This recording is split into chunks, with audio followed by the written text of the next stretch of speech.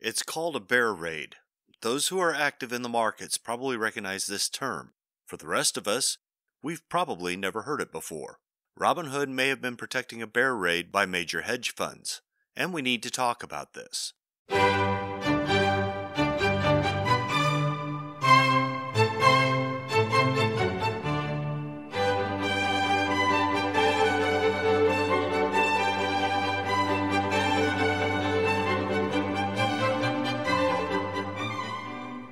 The investment markets are a cutthroat venue, so much so that the Romans at the Colosseum 2,000 years ago might just have lost their appetite for free bread and gone home.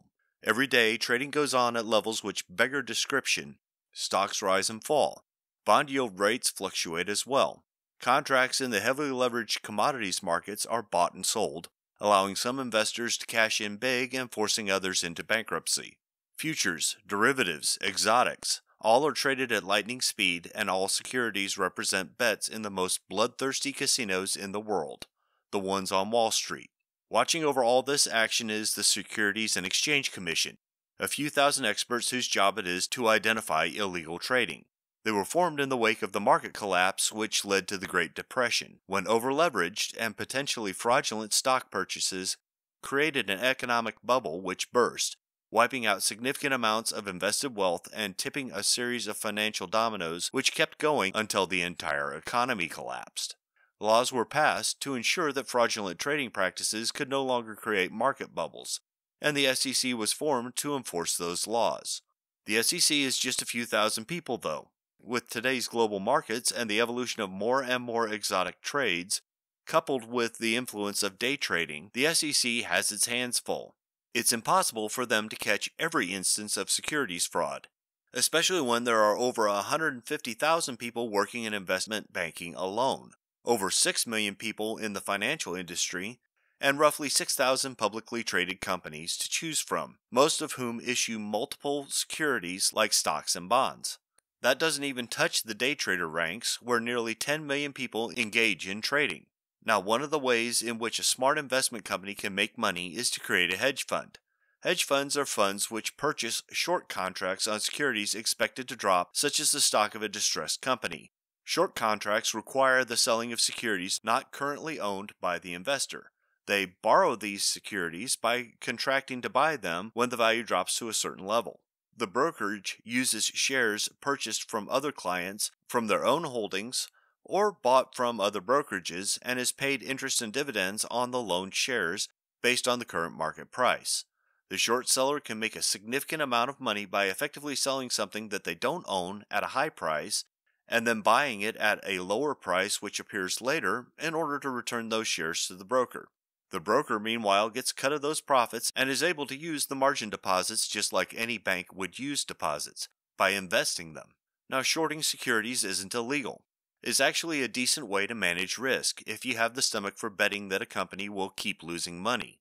But shorting securities is also a temptation towards conducting what's known as a bear raid, and that's the problem. A bear raid is set up when one or more short sellers create a significant number of short contracts on a distressed security, hoping to force the price of that security down and extract a significant amount of the value of that security before it drops. In a bear raid, the short sellers will then hint around that the security is distressed, so the value will drop as expected. They get in and out, walking away with a significant percentage of the value of that stock as profit. Meanwhile, the precipitous drop created by the short sale devalues the shares held by other investors and absorbs the cash reserves of that company, forcing them deeper into financial crisis and perhaps bankruptcy. It's for this reason that bear raids are targeted at the securities of distressed companies. A company already struggling to stay in business doesn't raise as many eyebrows if it suddenly collapses. Short sellers have to pay collateral for the shares they've borrowed, called a margin. If the stock goes up, the margin required for the borrowed securities also goes up. Short sellers then have to make an additional payment to cover that margin, which is called a margin call. That brings us to GameStop. This company specializes in selling video games in brick and mortar stores, a niche market which peaked about 10 years ago. They compete directly with gaming distribution services like Steam, and over the last few years, GameStop has been losing a lot of ground. We've seen this phenomenon before. In the 1980s, companies like Blockbuster Video made a lot of money renting videos and later DVDs to customers. In the late 1990s, though, streaming services like Netflix took over the home movie distribution industry, and by 2014, Blockbuster was all but wiped out. The way business works changes constantly, especially in tech, and businesses have to change with the times if they want to remain successful. GameStop is still trying to adjust its business model by catering to hardcore gamers, and it's struggling. But today, GameStop is ripe for a bear raid, and it seems that the hedge fund managers know it. GameStop stock has been heavily shorted over the last year. Because a short contract can leverage stock, it's actually possible to short more stock than a company has outstanding. This has happened with GameStop, which is shorted by 140%. And it would have worked, too, if it wasn't for those meddling Reddit users. On the Reddit forum r slash Wall Street Bets, day traders discuss stocks. Day traders are small investors who use apps like Robinhood to buy and sell stocks. On the average, since day traders typically aren't experienced investors, they lose money on 80% of their trades.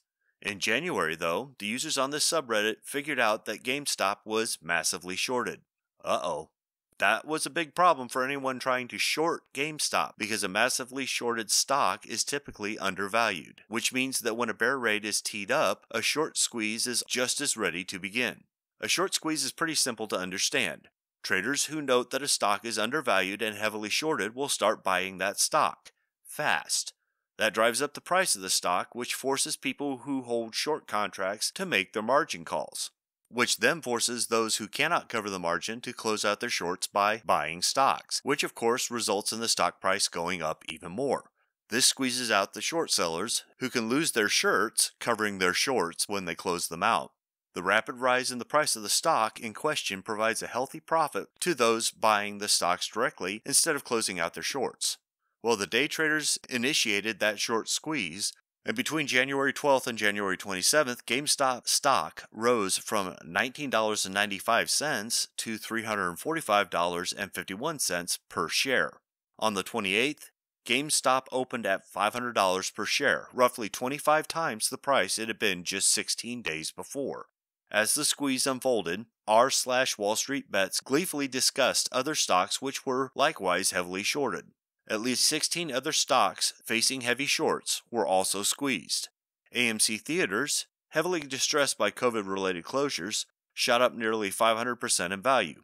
Koss Corporation, a manufacturer of low end headphones, rocketed up more than 37 times their previous value.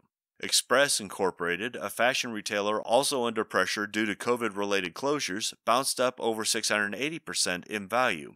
Even Blockbuster Video, which has been closed for business for quite some time and has exactly one location in Oregon that is still open under that brand name, had stock in their liquidation company shoot up because of a short squeeze. And then Robinhood, the app that many day traders use to squeeze those shorts, blocked these day traders from buying those stocks. The hedge fund managers who just lost billions of dollars were able to buy those stocks, of course, the day traders were also allowed to sell their shares, just not buy them. To me, it looked like the day traders were taking the hedge fund managers who overbought those shorts to the cleaners. Their trades weren't fraudulent, though. The thing about a short squeeze is that it's often a byproduct of a busted bear raid. Like I said, short selling stocks makes a bear raid very tempting, and it's quite possible that some of those hedge fund managers were doing just that. Melvin Capital lost 30% of its value in less than a month due to the squeezes. The margin call was so huge that they needed at least $2.75 billion to close out their shorts. They got at least 2 billion from Citadel LLC, another hedge fund company who owns a significant portion of Melvin Capital and also happens to own a significant stake in Robinhood. Other hedge funds were hit hard too. So far, the markets have lost at least $70 billion in value. But hey, this is how the markets work sometimes. The hedge funds didn't do anything wrong by investing in shorts. The day traders also didn't do anything wrong by investing in shorted companies, even though those investments have provoked a lot of volatility in the markets. Now, Robinhood claims that they received a call from their clearing firm to disallow buy orders from their traders in certain stocks, including GameStop. That's interesting though because Robinhood made a big deal in 2018 about rolling out their own in house clearing firm, Clearing by Robinhood.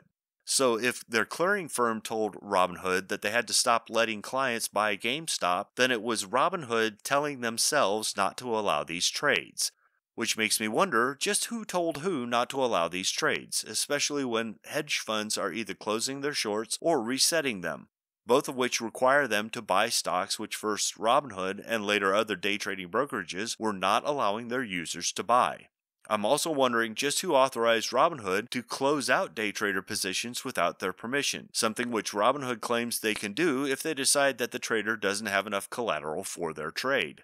I've checked that claim. It's possible that Robinhood could have made this determination on a margin account if the margin account didn't maintain the proper margin. But it's really not a good look for Robinhood to be selling people stocks for them without orders, especially after telling them that they cannot buy those stocks. Selling drives down the price of the stock. Depending on the sale price, the day trader may be forced to take losses by that sale. A good question might be if Robinhood notified the users that they had a margin call to make before they placed those sell orders. Another good question might be if Robinhood is protecting those hedge funds, which some sources suggest may have reset their shorts just before Robinhood starts refusing some transactions and forcing others. I understand that the rapid rise in price on these stocks was spurred by a buying frenzy, and that GameStop doesn't necessarily have any more actual value as a company over last month. Buying frenzies aren't illegal, though, and they tend to clobber traders who are chasing the trend instead of leading the trend. That's part of trading on the stock markets, too. Sometimes people lose their shirts on bad investments that looked fine when they put their money down. Bear raids are fraudulent, though. It's actually against the law to manipulate the market by heavily shorting a stock and then circulating information that drives down the stock price. It's something into which the SEC needs to look carefully, especially given the ties between a self clearing day trading firm like Robinhood and major hedge fund managers. AOC seems to think so. So does Ted Cruz. So do a lot of day traders who were suddenly stuck unable to buy stocks and forced to sell their positions without being consulted first. So much so that at least two class action lawsuits have been filed. Are you mad, Roast? Did you get caught out on your day trading? Um, no. Just no. I don't engage in day trading. It's a really volatile form of trading, and I'm not keen on taking such risks with my money. Then why do you care, Roast? It's not your problem, is it? Think about it for a minute. Hedge funds, just like any other funds, have to list all of their investments publicly. That information is part of a public filing which they have to make quarterly. You can look up their positions with a little internet searching, a fact which might explain just how some day traders could figure out that GameStop had more money bet on shorts than the total value of their stocks. But if a hedge fund is taking a bath on a short squeeze, they might have to dump other securities they hold in order to make their margin calls, or even possibly to stay solvent. When they dump those securities, those stocks also take a dip. If there's a big enough drop in prices, then it could trigger automatic trades at other companies, which would further depress these stocks. It doesn't always take a boulder to start an avalanche, folks. If the market is unsteady, such as when stocks are rising despite massive increases in unemployment claims, a single pebble could start a landslide. That public information on investments could help investors to predict which positions that hedge fund managers would dump allowing them to sell their own positions in those stocks before the hedge fund does. And we can see this happening this last week as the Dow dropped a thousand points. Again, what matters is volatility, and a short squeeze is fueled by it. The overvalued stocks will eventually drop as fast as they rose, further depressing the market and increasing the risk of a panic. That's why the SEC needs to be scrutinizing this situation very carefully especially with financial reporters blaming the whole mess not on the hedge funds who heavily shorted those stocks, but rather on the day traders who shared publicly available information on social media. Some people are even calling for forums on social media to be closed to discussing trader information. If there was no bear raid in the making, then fine.